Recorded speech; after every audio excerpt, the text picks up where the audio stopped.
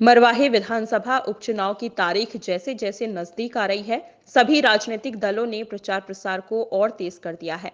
प्रचार के इस क्रम में प्रदेश के मुखिया भूपेश बघेल भी मरवाही पहुँचे, जहाँ लोगों ने उनका आत्मीय स्वागत किया। जिसके बाद मुख्यमंत्री भूपेश बघेल, डोंगरिया, कोटगार, जोगीसार में आम सभा को संबोधित करते हुए भाजपा को आड़े हाथों लिया। उन्होंने कहा, मरवाही में हुई उपेक्षा का जिम्मेदार भाजपा है। जो बीते पंद्रह सालों में न मरवाही आए और न ही विकास की बात की। इस दौरान अपने संबोधन में क्षेत्र के विकास को पहली प्राथमिकता की बात कही। मुख्यमंत्री के इस सभा में पीसीसी अध्यक्ष मोहन मरकाम, कोरबा लोकसभा सांसद ज्योत्सना चरणदास महंत गृह मंत्री ताम्रध्वज साहू राजस्व मंत्री जयसिंह अग्रवाल खाद्य मंत्री अमरजीत भगत आबकारी मंत्री कवासी लखमा प्रदेश प्रवक्ता आरपी सिंह अटल श्रीवास्तव सहित प्रदेश स्तर के पदाधिकारी और कार्यकर्ता उपस्थित रहे। हमारे जितने प्रत्याशी जितने कैंडिडेट हैं उनके बीच लड़ाई होना जो लोग मैदान में नहीं उससे क्या लड़ाई? वो आप अब कोई शिकायत करेगा तो प्रमाणित आप ही करोगे ना। मेरी जाति जो है वो मैं बताऊँगा इनकी जाति वो ये बताएँगे। तो अपनी जाति वो बताए यदि शिकायत होती तो वो। तो प्रमाण करने की ज़िम्मेदारी खुद की होती है ना। देखिए यदि कोई शिकायत हुई है उसके खिलाफ ठोस कार्रवाई ये कांग्रेस शासन में संभव है। यूपी में हाथरस में क्या हुआ? जब भारतीय जनता पार्टी की सरकार है सरोज पांडे एक शब्द क्यों नहीं बोली? और क्यों नहीं बात कर रही वहाँ की? पिछले पंद्रह साल में भारतीय जनता पार्टी की सरकार ने इस क्षेत्र के लिए कुछ नहीं किया।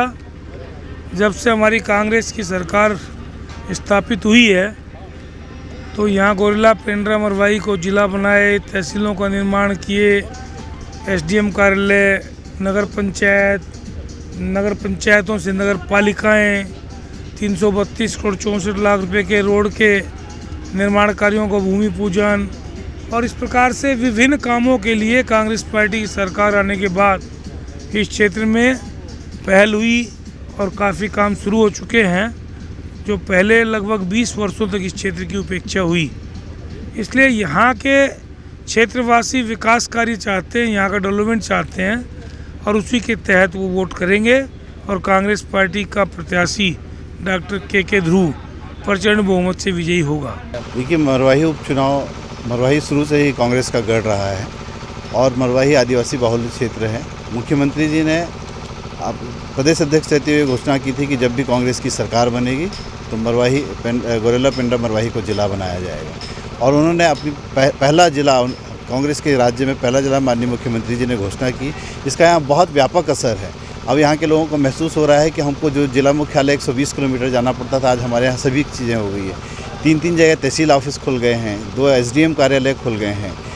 सब स्टेशन सी का सब स्टेशन इंस्टॉल हो रहा है। 320 करोड़ की योजनाएँ आ रही हैं और इंदिरा कृषि महाविद्यालय की की घोषणा होगा इसका काम शुरू होगा। तो तमाम घोषणाएँ जो विकास पूरक होंगी, वो यहाँ के लोगों के लिए किया गया है।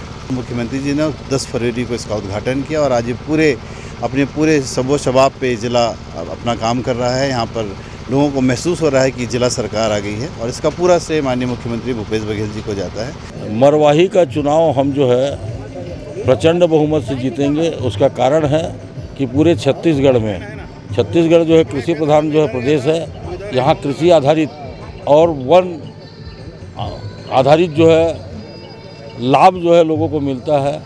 अब देखेंगे धान का जो है, कहाँ सत्रह सौ रुपये मिलता था और इक्कीस सौ रुपये का जो है भाजपा ने भी घोषणा की, लेकिन सिर्फ़ दो वर्षों तक दिया, वो चुनावी था उनका। और भूपेश बघेल जी ने जो है पच्चीस सौ रुपये किया है। उसी प्रकार जो पच्चीस सौ रुपये जो है तेंदुपत्ता का मिलता था, उसको चार हज़ार किया है।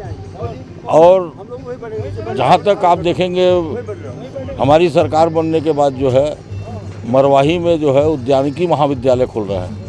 और मेडिकल कॉलेज का भी जो है, लगभग जो है, केंद्र सरकार ने सैद्धांतिक रूप से जो है स्वीकार कर लिया है।